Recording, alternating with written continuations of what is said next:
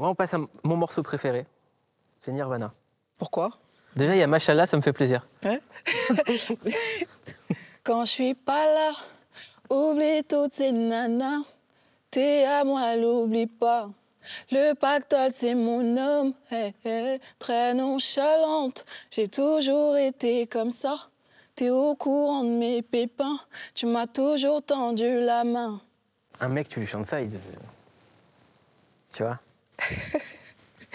Ouais. Il tombe. Tombe, tombe tout raide. Ça te fait quoi d'être Machallah dans un morceau? Hum, C'est-à-dire, c'est pur, tu vois, je pense. Parce que j'avais jamais vu forcément l'amour comme ça, en fait. C'est pour ça que je dis machallah, ça s'est sorti. Ça veut dire quoi pour les gens qui connaissent pas? Ah, Les gens, ils connaissent pas. Machallah, bah, genre, euh, c'est. Dieu a bien fait les choses, quoi. T'es croyante? Ouais. Ça t'aide ou pas? Bah, ça m'apaise. Ouais. Mais grave. Je pense que peu importe. euh, je pense que c'est bien, en, tout cas, de. Des fois, enfin, en tout cas, de croire pour se reposer. Des fois, euh, je me dis, quand il y a un truc mauvais, je me dis, c'est comme ça, c'est le destin, tu vois. Et toi, chez toi, l'islam, ça t'apporte de la paix? Ouais. C'est important de le dire en ce moment. Mhm, ouais.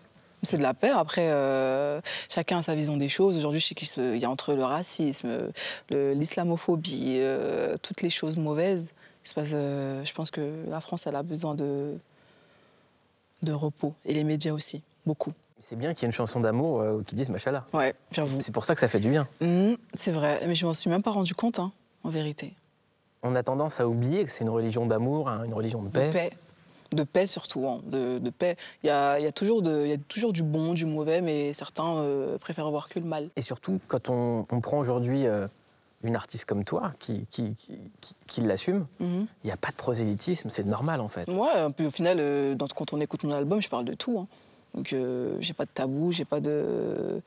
Je suis pas radicale, enfin, comme on dit. Et faut pas se fier aux apparences et aux on dit. Parce que je me dis, un mec qui habite euh, dans, le, dans la campagne, je sais pas où, qui a jamais vu d'arabe et de noir, dès qu'il en voit un passer, les- il regarde les médias, il se dit, ah ouais, putain, c'est chaud là.